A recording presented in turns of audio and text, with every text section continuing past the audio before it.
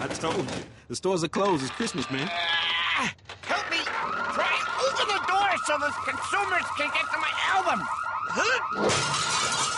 I'm Flavor Flav! You're well aware of my hip hops and raps. Now you're gonna hear from my lawyers, who will bust a rhyme on your job.